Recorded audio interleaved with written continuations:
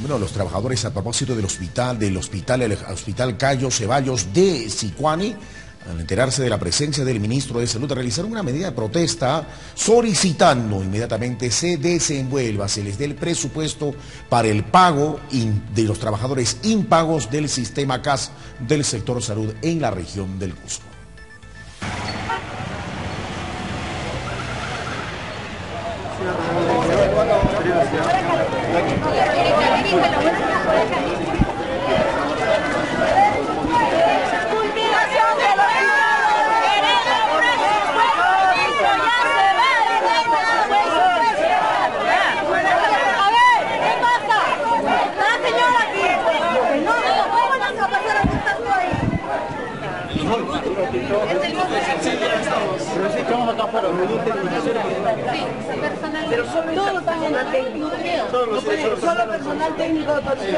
Tras el arribo del ministro del MINSA la Dirección Regional de Salud del Cusco, los trabajadores del Hospital Alfredo Cayo Rodríguez realizaron una protesta exigiendo la transferencia del presupuesto para el pago de los trabajadores bajo la modalidad CAS. Es que hay un incumplimiento de parte de las autoridades regionales y de la Dirección Regional de Salud.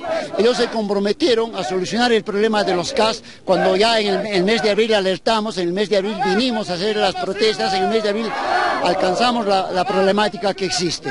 Según el secretario general de los trabajadores del nosocomio de Sicuani, Domingo Cueva Ojeda, son más de 80 trabajadores, entre personal administrativo, médico y especializado, que serían despedidos el próximo mes por falta de presupuesto, un hecho que pone en riesgo el funcionamiento de diversas especialidades y áreas de dicho centro hospitalario. En el hospital Sicuani son 83 trabajadores que hacen más o menos un monto de 180 mil soles mensuales en remuneraciones, a los cuales ya se les ha dicho que se les va a despedir. La dirección ha exigido que se despida el 50%. Hemos visto que en muchas áreas hasta el 100% de trabajadores son contratados, es decir, a muchos servicios en el hospital estarían cerrando. El dirigente sindicalista responsabilizó de la crisis que se registra en los diferentes centros hospitalarios a los ministros de Salud y Economía, quienes no aseguraron la transferencia del presupuesto para el pago al personal CAS. Esto es responsabilidad del Ministerio de Salud. Si en la ley de presupuesto había esa prohibición, era el Ministerio de Salud que con recursos propios debía prever que a partir del mes de abril ya debían conseguir presupuesto para a nivel nacional para pagar los sueldos de los contratados. A la exigencia de la transferencia para el pago de trabajadores CAS se suma el pedido de dotar de mayor presupuesto para el mantenimiento del hospital de Sicuani, por cuanto funciona con diversas deficiencias.